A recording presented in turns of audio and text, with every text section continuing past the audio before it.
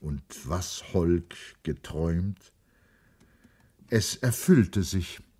oder schien sich doch erfüllen zu wollen. Johannistag war, und ein sonniger blauer Himmel stand über ganz Angeln, am sonnigsten aber über Schloss Holkenes. Wagen in langer Reihe hielten an den Treib- und Gartenhäusern hin, und das Holksche Wappen über dem Portale trug einen Efeukranz, in den weiße und rote Rosen eingeflochten waren. Arne hatte Myrte gewollt, aber Christine war dabei geblieben, dass es Efeu sein solle.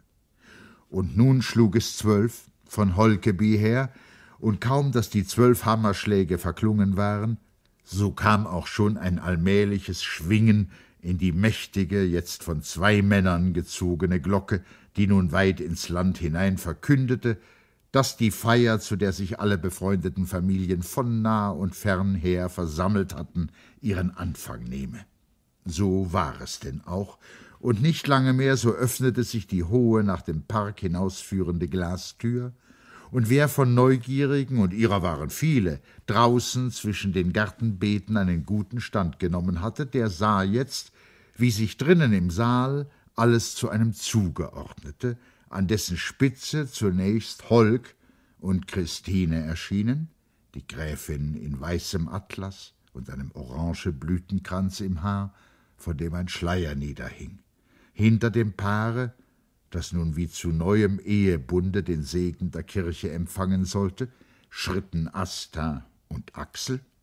dann Arne, der die ältere Gräfin Brockdorf, und dann Schwarzkoppen, der die Dobschütz führte, viel andere mit ihnen und zuletzt alle die, die gebeten hatten, der Feier im Festzuge beiwohnen zu dürfen und deren Teilnahme, weil es ferner Stehende waren, die Herzen der wieder zu Trauenden besonders beglückt hatte. Dienerschaften schlossen sich an, und als der Zug, der sich auf Holkeby zu in Bewegung setzte, den zwischen den Tannen des Parks hinlaufenden Kiesweg passiert hatte,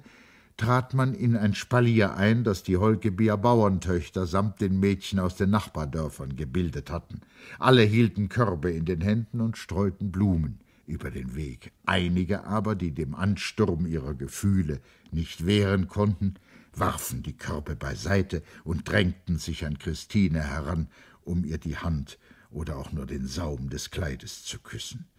Sie machen meine Heilige aus mir, sagte die Gräfin und suchte zu lächeln. Aber Holk, dem sie diese Worte zugeflüstert hatte, sah wohl, dass ihr dies alles mehr Pein als Freude schuf, und dass sie, wie das in ihrer Natur lag, ängstlich schmerzliche Betrachtungen oder vielleicht selbst trübe Zukunftsgedanken an dies Übermaß von Huldigung knüpfte. Das volle Leben um sie her indes entriß sie dem wieder, und als sie jetzt deutlich hörte, dass der Glocken immer mehr wurden und dass es klang, als ob alle Kirchen im Angliterlande das seltene Versöhnungsfest mitfeiern wollten, da fiel auf Augenblicke wenigstens alles Trübe von ihr ab, und ihr Herz ging auf in dem Klange, der gen Himmel stieg. Und nun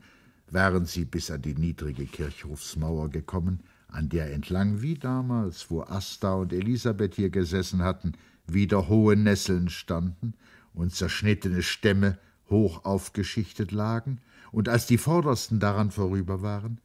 bog der Zug in das Portal ein und bewegte sich zwischen Gräbern hin auf die Kirche zu, die weit aufstand und einen freien Blick auf den erleuchteten Altar am Ende des Mittelganges gestattete. Da stand Petersen. Er war hinfällig gewesen all die Zeit über, und zu der Last seiner Jahre war schließlich auch noch die Last schwerer Krankheit gekommen. Als er aber vernommen hatte, dass Schwarzkoppen, wenn Petersen bis Johannistag nicht wieder genesen sei, die Traurede halten solle, da war er wieder gesund geworden und hatte denen, die zur Vorsicht und Schonung mahnen wollten, beteuert, dass er, und wenn's vom Sterbebette aus wäre, seine geliebte Christine wieder zum Glück führen müsse. Das hat alle Welt gerührt, ihm aber die Kraft seiner besten Jahre wiedergegeben, und da stand er nun, so grad und aufrecht, wie vor neunzehn Jahren, als er auch an einem Johannistage die Hände beider ineinander gelegt hatte. Gesang hatte begonnen im selben Augenblicke, wo der Zug in den Mittelgang eintrat, und als das Singen nun schwieg, nahm Petersen zu kurzer Rede das Wort. Alles Persönliche vermeidend, am meisten aber jeden Hinweis auf den Ungerechten, über den mehr Freude sei im Himmel als über hundert Gerechte. Stattdessen rief er in einem schlichten, aber gerade dadurch alle Versammelten tief ergreifenden Gebet die Gnade des Himmels auf die Wiedervereinten herab und sprach dann den Segen. Und nun fiel die Orgel ein, und die Glocke draußen hob wieder an, und der lange Zug der Trauzeugen nahm jetzt den Rückweg dicht am Strande hin und stieg, als man den zur Dampfschiffanlegestelle führenden Brettersteg erreicht hatte, links einbiegend die Terrasse nach Schloss Holkenäs hinauf. Da war die hochzeitliche Tafel unter der vorderen Halle gedeckt, derart, dass alle Gäste den Blick auf das Meer hin frei hatten,